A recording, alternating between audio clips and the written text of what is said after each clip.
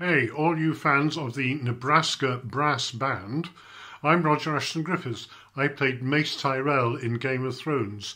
Now, my understanding is that the band's going to be using the theme music from Game of Thrones during its next season. So I hope you're going to go and see them. They support a number of great charities.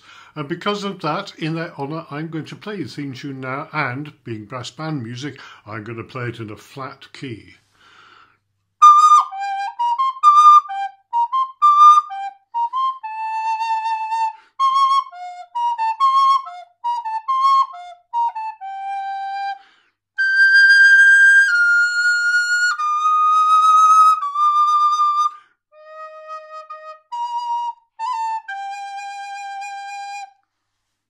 All the best.